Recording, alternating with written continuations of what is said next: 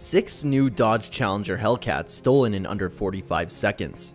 Stealing six new Dodge Challengers in just 45 seconds is a big deal. In this robbery, the thieves split up and moved in very different directions. Five of the six cars were recovered overnight by the police. In a police pursuit, one was totaled and the driver was arrested. Tennessee and Alabama were among the locations where the four of these were discovered. One appears to have just run out of fuel. Lastly, the sixth vehicle remains unaccounted for, but GPS data leads the authorities to believe it is in Alabama, hence the last stolen cat is still being searched for.